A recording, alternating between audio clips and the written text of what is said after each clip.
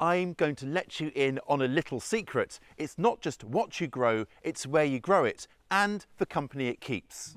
Hi, I'm Ben, and until recently, much of companion planting was based on little more than hearsay.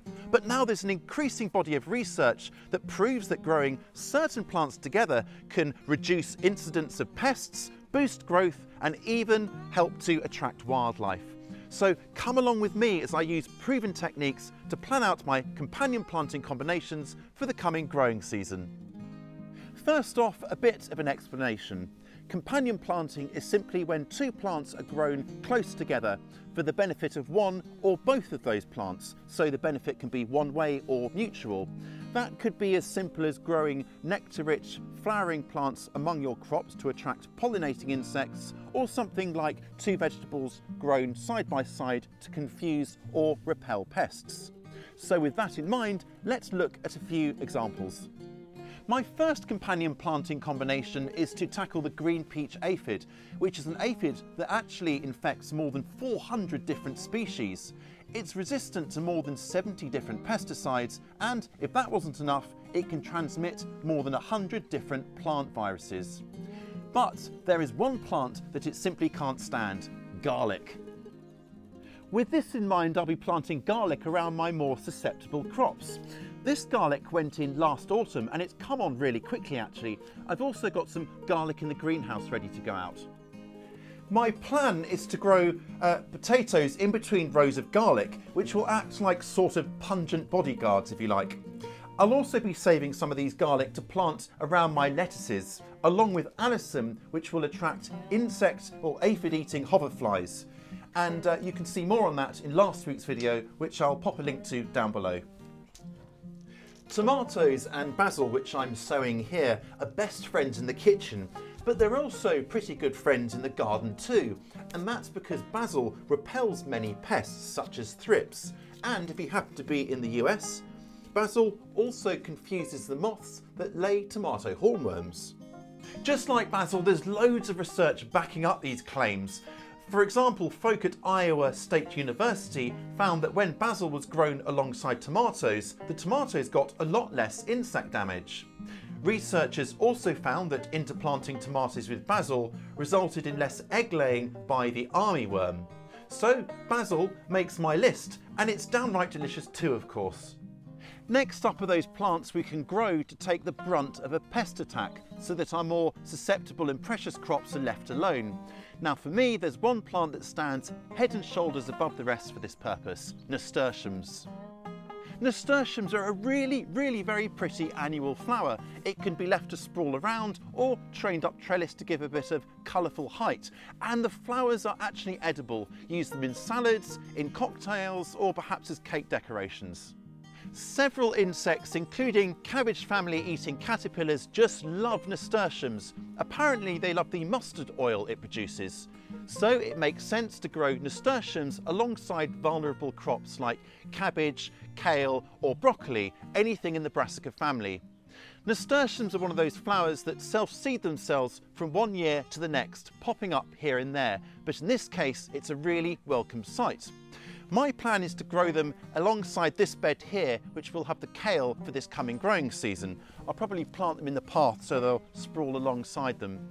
I'm going to start them off in plug trays, grow them on and then plant them out. There are plenty of other flowers worth growing amongst your vegetables, plenty of other flowers. Of course there are the nectar-rich blooms that will attract pollinators such as bees, that will then go on to pollinate your crop plants such as tomatoes, squash and peas for example. Now great examples are the sunny side up cheering blooms of poached egg plant, maybe comfrey, ageratum and zinnias. But flowers have many other benefits beyond attracting pollinators. One of the most powerful flowers is tansy. This obliging bloom attracts all sorts of pest-eating bugs, such as ladybugs or ladybirds, tiny parasitic wasps, and the minute pirate bug, which doesn't so much plunder the high seas as plunder other pests. At the same time, tansy repels many of the baddies. It's a great plant, very cheery, and it's a perennial, so you plant it once and it will give summer after summer of blooms. What more could you want? Just one word of caution though, if you are in North America, it can be very invasive, so it is banned in some states. And it can also cause a bit of an allergic reaction on some people, so do wear gloves when handling. That said, it makes the cut in my garden. Other flowers I'll be including alongside nasturtiums and tansy are marigolds and calendula, which will also attract all sorts of beneficial bugs. This is all well and good, but who has the time, honestly, to research scientifically rigorous companion planting combinations? I know I don't, which is why I love the online garden planner.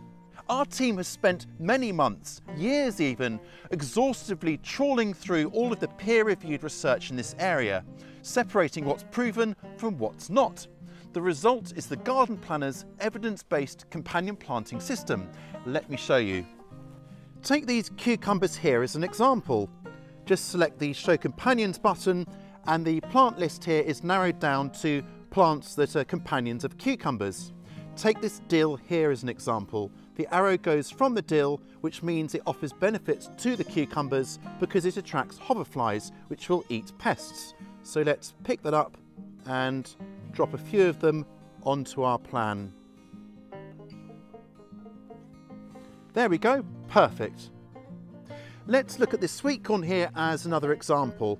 Click on the Show Companions button and then, great, if you look here, you can see the beans, the benefit is in both directions because the arrow goes in both ways. And that's handy because I need something against this arch here. So let's pick up the beans, drop them down and add a row there. Lovely stuff. The garden planner takes all of the guesswork and the legwork out of finding the perfect companions for my plants. I love the fact that someone else has done the research for me so I don't have to. Lazy? Yeah, so what? Smart? Definitely. Companion planting is a seriously powerful but crucially natural way to turbocharge your garden's growth.